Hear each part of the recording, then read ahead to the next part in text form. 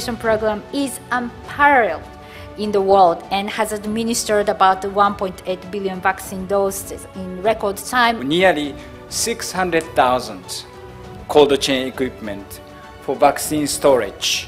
Fantastic journey, a great learning experience not only for India, for the rest of the world.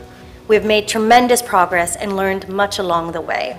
I look forward to our continued collaboration to share these best practices with the rest of the world. दोस्तों हमने देश में vaccine का manufacturing किया, vaccine का research किया, India की requirement पूरी हुई और उसके पहले हमने दुनिया को भी मदद करना शुरू किया।